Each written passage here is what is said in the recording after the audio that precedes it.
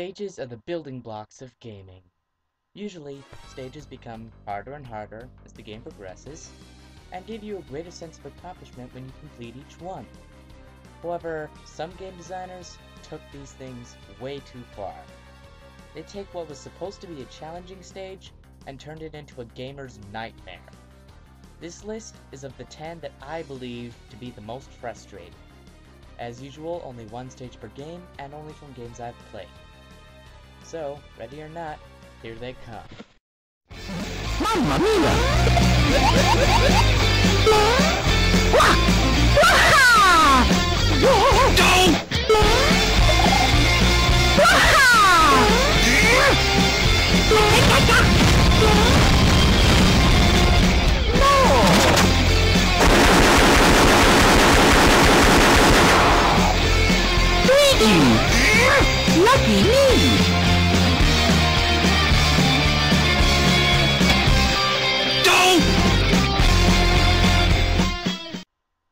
Banjo-Kazooie is a fun game. While most games these days focus on action, Banjo-Kazooie focused on skill. The game was designed like a puzzle, which I love, but one of the levels took the puzzle idea a bit too far. That level was Rusty Bucket Bay. This level freaked me out the first time I played it. I didn't expect pipes and life preservers to come to life and attack me. Also, this level is filled with things that make it extremely difficult to complete, like the gear works, polluted water, radioactive waste, and the return of Snacker!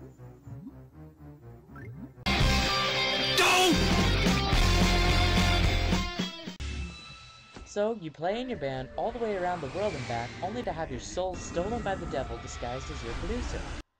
Now, you have to play through four songs, two of which are extremely annoying, and it all ends with a battle against the one and only Lou. No, no, no, no, no, no, no, not that Lou. That Lou. As much as I love this stage, it still gets me a lot on hard and expert mode.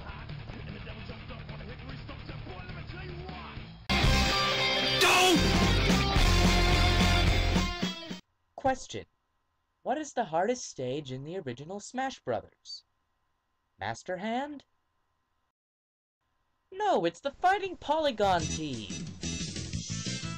Now that you've decimated every foe in the game, you have to fight them all again.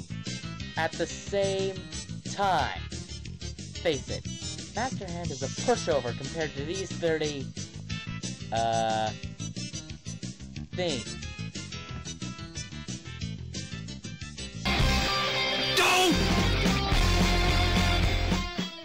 The only Sonic the Hedgehog game I own is Sonic Unleashed, so I can't compare it to other Sonic games, but that doesn't change the fact that Eggman Land is hard as hell. Many portions of the course have no floor, which means that you make one mistake and you end up falling into lava, or nothing. Fight a grudge match against the robot you fought in your second day stage, you hijack a car and a rocket, and you can get killed by enemies when you least expect it. But it is lower on the list because I've beaten it more than once.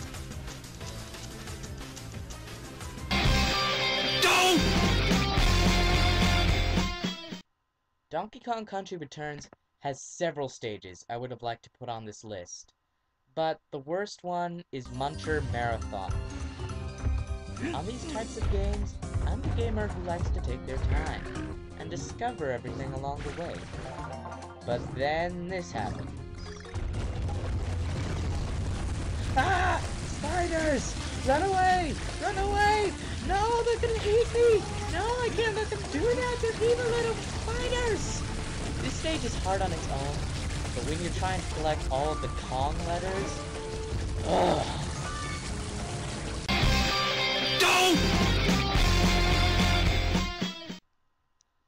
The Elite Four.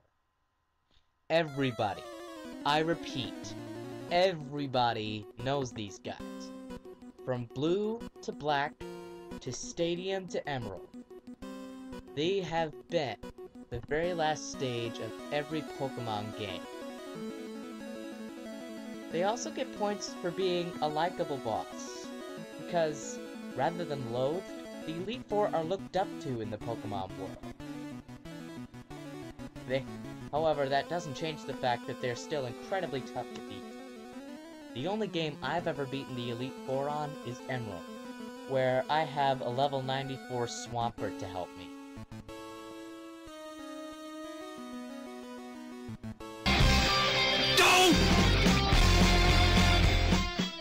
Special Cup is hard on every difficulty. 150cc is brutal. The cup consists of four races, each harder than the last, and you have to try to be first in all of them.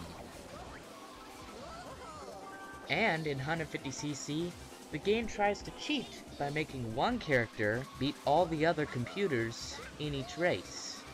So, you really do have to come in first every time. Also, this cup is home to Rainbow Road. Need I say more?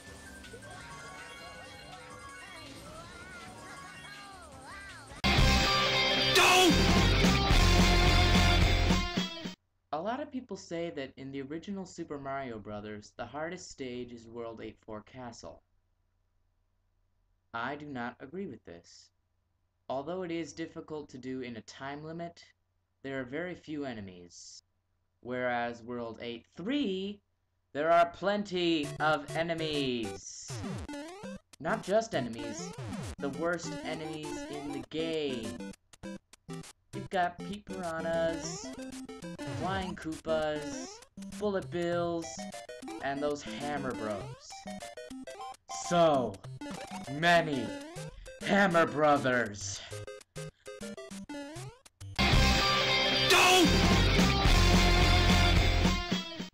There's a reason why I don't own a lot of shooting games. It's because I suck at them. One of the few shooting games I do own is Star Wars Battlefront. On that game, I can never complete the Clone Wars because of this stage. The Battle of Geonosis. In this stage, you play as clone troopers trying to keep the Empire from leaving the planet. You do this by destroying three Techno-Union ships. Little do you know that this is very difficult to do. And while you're destroying the Techno-Union ships, you have to fight off enemies. And those droidekas. Ah!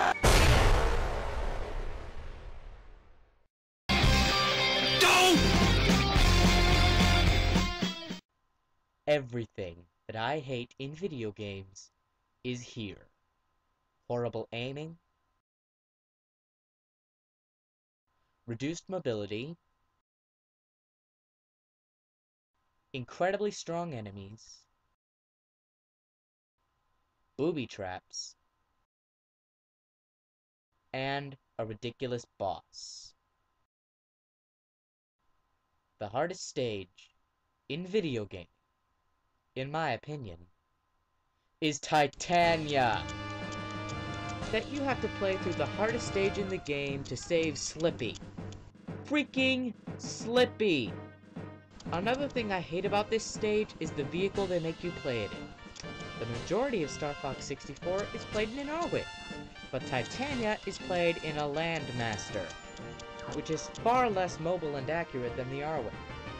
Also, the level itself is long and difficult, taking down huge enemies with loads of HP and avoiding booby traps. Then, you get to the boss. The boss on its own is difficult, because you have to shoot its forearms, then its head, then its arms again, and then finally its heart. All the while dealing with the horrible aiming controls of the Landmaster. But easily the worst part about Titania is the ending it leads to. Star Fox 64 has two endings. In the good ending, you defeat Andross and save the Lylat system from intergalactic war. In the bad ending, you defeat an android, meaning that the real Andross lives on. Because of Titania's placement on the map, even if you manage to defeat its boss, you will get the bad ending every single time.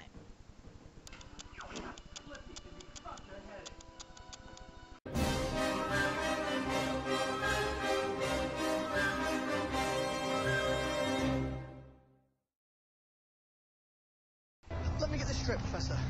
You're actually giving us permission to do this? That is correct, Longbottom.